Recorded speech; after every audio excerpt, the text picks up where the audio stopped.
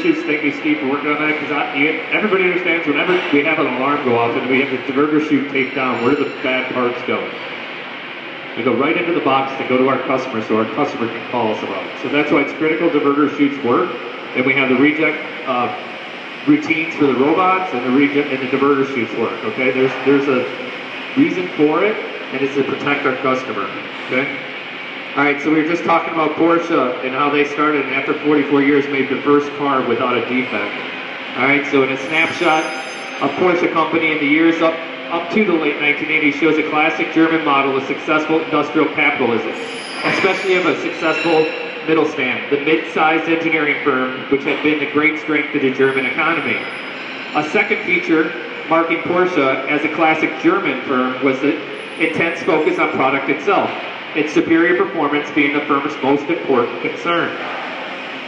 Yet the third feature of Porsche, marking its German pedigree, was their organizational chart, which was entirely departmental and steeply hierarchical.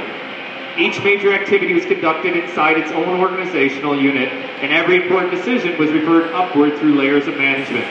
Careers moved up in departmental hierarchies as well.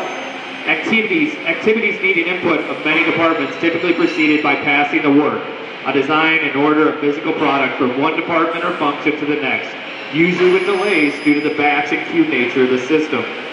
A special feature of Porsche's organizational structure introducing rigidity, rigidity beyond the German norm was a consequence of its second business as an engineering consultant. Auto companies and large parts makers often wanted help in aerotechnical problems. The knowledge base to address these problems, suspension dynamics, engine vibration, and minimum weight body structures, for example, require deep depositories of know-how in each department ready for sale to outside organizations. All right, so okay, so obviously they're all set up to do everything the way the Germans are made to do it. Focus on the product, be experts, and have you know pass it up the pass it up the chain or move it over to the next hierarchy. So we'll see how they change that as the future grew for them.